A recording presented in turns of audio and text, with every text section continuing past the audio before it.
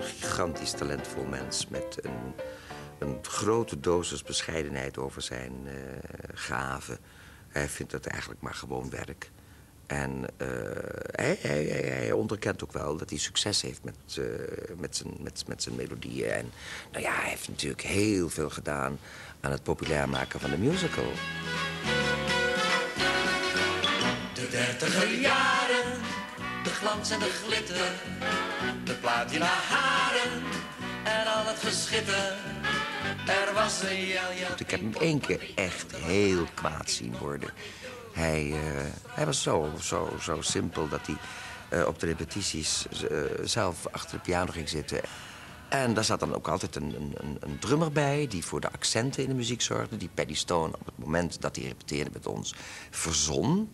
ik bedoelde, hij was een choreograaf, regisseur. En dat was een geweldige samenwerking. Maar Paddy was een ontzettend, ja, typisch Amerikaan. Kon ontzettend explosief aan het werk zijn. En als je niet voor 100% in de repetitie tekeer ging... dan kon hij een stoel naar je hoofd gooien en schreeuwen en zo. En dan bleef Harry altijd even... Dan ging Harry zo met de handen voor ze over elkaar even achter de piano rustig zitten afwachten tot de storm voorbij was. Maar één keer was het zo erg. Harry stapte rustig van zijn pianokruk af.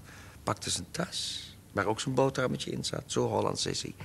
En zijn, zijn gevulde koekje en zijn snoepjes, want hij houdt van lekker snoepen. Pakte zijn partituren, zette dat in de, in de tas, deed de tas dicht onder zijn arm en liep, en liep gewoon doodrustig het repetitielokaal uit en is er niet meer teruggekomen. Dat is me twee keer overkomen, dat vond ik wel vervelend, maar... En daarna heb ik ook altijd een beetje onbevredigend uh, gevoel. Want als ik nou mijn mond had opengedaan, misschien was het dan wel goed gekomen. Wat ik dan weer betwijfel. Ik denk altijd, ja, deze manier is dan toch de beste. Gewoon als je het ergens niet bevalt, weggaan. En... Uh, maar goed, dat is een luxe, dat kan iedereen zich ook niet permitteren. Dat weet ik ook wel.